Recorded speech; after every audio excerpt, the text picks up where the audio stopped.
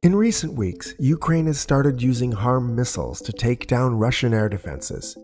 Yet, with only older Soviet made aircraft in its air force, that shouldn't be possible. So, how did they do it? Well, it turns out you can blame it on Top Gun.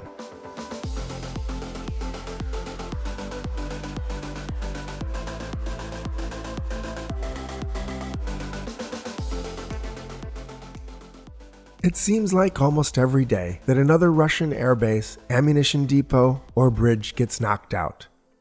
Each time, just before the targets are hit, a series of well timed HARM missile strikes take down Russia's air defenses. Those missiles are American made.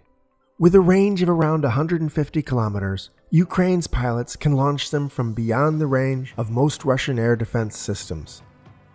Once launched, the missiles fly toward their selected targets usually Russian air defense radar sites, then lock in on the radar signal, fly down the beam, and hit the target. Even if a Russian operator were to spot an incoming missile and try to turn off their radar, the missile remembers where it was and hits precisely there anyway. Since it flies at nearly Mach 2, or about 2,500 kilometers per hour, there's little warning anyway. As a result, the HARM missile is a game changer in this war it's what allows Ukraine to successfully carry out so many deep strikes, even against the best defended Russian targets. However, there's a mystery here. While we know that Ukraine is using HARM missiles, we don't know how. All of their older Soviet built aircraft don't have the right electronics for it. In other words, you can't just hang a missile under the wing of any airplane and expect it to work. The aircraft has to have a compatible data bus, a special mission targeting computer, the right in cockpit displays, and even a lot more than that. The fact is, for a Ukrainian MiG to launch that missile would require the original Russian electronics be replaced with the right Western kit. That's a job that would take years of engineering to complete, and yet this war is only in its sixth month. Regardless, we see conclusive evidence that Ukraine is using HARM missiles. The Russians have even recovered twisted bits and bent pieces of missile fins that were buried amidst the burning wreckage of some of their radar sites. When they published photos of those online, it kicked off a global debate on how Ukraine was doing it. At first, many believed that the photos were faked, but then a week later, the Pentagon's Undersecretary of Defense for Policy confirmed that the U.S. was supplying Ukraine with HARM missiles after all. He added that Ukraine was firing their missiles from MiGs. Yet nobody believed that, because it was well known that the engineering required to make that possible couldn't have been done so quickly. What followed was speculation that NATO was secretly supplying Ukraine with a type of Western aircraft capable of launching those missiles. Yet Ukrainian pilots would have needed to train to fly and operate those in combat, and to get that knowledge would take at least a year. Even if a handful of retired U.S. Air Force pilots volunteered to fly those planes on Ukraine's behalf, it still couldn't have happened. Quite simply, it takes more than just a pilot to fly an airplane. You need the ground crews, the maintenance, the hangars, the spare parts, and everything else that goes along with flying a modern, complex warplane. As a result, the debate shifted next to whether NATO was secretly flying a campaign of HARM missile strikes on Ukraine's behalf. While technically possible, it made no sense. The alliance was avoiding any direct involvement in the war, and to do so seemed to needlessly risk kicking off World War III. And for what? A few radar sites? Having exhausted all other ideas, the armchair analysts finally postulated that Ukraine might be launching HARM missiles from trucks or from some kind of modified armored fighting vehicle. As it happens, some variants of the HARM missile can be launched that way, so it almost made sense. Except for one thing. From the front line, a missile launched from the ground wouldn't have the range to reach some of the targets being hit. That meant that Ukraine was launching missiles from its airplanes. But how? The answer came a few days ago. It turns out that Raytheon had done what was previously thought impossible. As it happened, the armchair observers weren't wrong in their assessment. The task of engineering Western electronics onto Russian airplanes had required years to complete. What nobody knew, however, was that that work had already been done decades ago. And for that, you can thank Top Gun. Of course, when I say Top Gun, I don't mean Tom Cruise in Hollywood. I mean the real Top Gun and the U.S. Air Force's own Red Flag program. Do you remember Viper and his buddy Jester from the movie?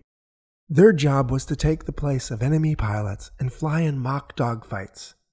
They're assigned to what are called aggressor squadrons, and they're among the best pilots in the entire military.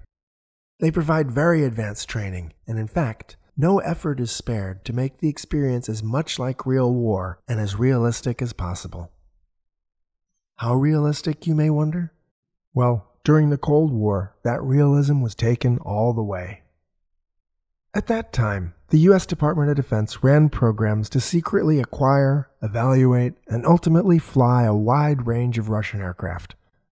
Those programs were known by various code names, like Constant Peg, Have Idea, Have Pad, and incredibly, one was even called Have Donut. Each program worked with a different aircraft. Early on, they had MiG 17s. Then later, they added MiG 21s, MiG 23s, as well as Sukhoi 17s and 22s. Ultimately, they even had MiG 29s and Su 27s. Some were captured, others were secretly recovered from little known crash sites, a few were purchased on the black market, and some came from defecting East Bloc pilots. Finally, there were even several snatch and grab operations performed by special forces. The US military did whatever it took to get what it needed to stay ahead of the game. Of course, those programs were considered very costly. Each plane was worth its weight in gold, a national asset that was virtually irreplaceable. Ultimately, however, all that changed when in 1991 the flag went down on the Soviet Union. Suddenly, it was like the floodgates opened. There was a fire sale of old Soviet equipment from across all of Eastern Europe. Former Warsaw Pact countries were simply done with their Russian planes. It was like a bonanza for Western intelligence. You could get whatever you needed with a single phone call. In fact, during that time, a few private warbird enthusiasts went over to Russia with cash in hand and simply bought themselves a real MiG to fly as their own. East Germany provided a whole squadron of MiG 29s, and those became a regular fixture at Top Gun and Red Flag. The fact was, even if the Soviet Union was no more, most of the potential future adversaries of the US and NATO were still flying Russian aircraft. In all, the United States flew Russian airplanes for more than four decades.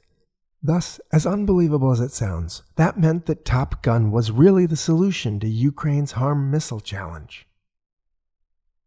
Since Raytheon was the contractor that supported those old Russian aircraft, its engineers knew everything there was to know about a MiG 29. They had completed most of the complex engineering required to replace Russian electronics with Western kit. Thus, Raytheon simply called in some of its engineers and put them onto the project. In the end, instead of several years, the job of equipping Ukraine's MiG 29s with HARM missiles was done in a few months. Then, the only thing left to do was to train Ukraine's pilots on the launch sequence, a job done in just a couple of weeks. Ukraine's use of HARM missiles in combat marks a major turning point in this war. In fact, it's every bit as important as the delivery of the HIMARS system a few months back. And incredibly, it came down to Top Gun to make it possible. I'm Thomas Van Hare, and this is Historic Wings please subscribe and click like. And remember, there's always more to the story.